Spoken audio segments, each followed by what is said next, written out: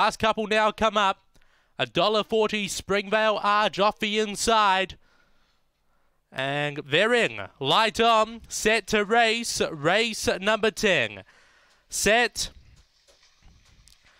away. Springvale Arch began well, is mastering up, is joined by Sweetly early, who pushes on, but Springvale Arch goes to the front over Sweetly. Then we go back to Zinfandel Tory with Blistering Betty, Cardhu 2, and Claretown Lily up to the turn. Springvale Arch often gone by six on Zinfandel Tory, Sweetly, but it's all Springvale Arch. Gets up to beat Zinfandel Tory, Sweetly, Cardhu 2, Blistering Betty and Claretown Lily. Time, quickest of the day, 22.59.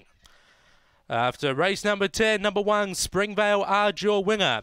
For Ray Murray, Beaks home number, uh, number 7, Zinfandel Tory for Vegan Ross. Third, number 8, Sweetly for Kim Johnston. And fourth will be number 10, Cardhu 2 for John Cunningham. Rung home in 13.89. 13.89 the run home, 22.59 that time, 22.59, 1, 7, 8, 10 your numbers. After race number 10, here at Gawler.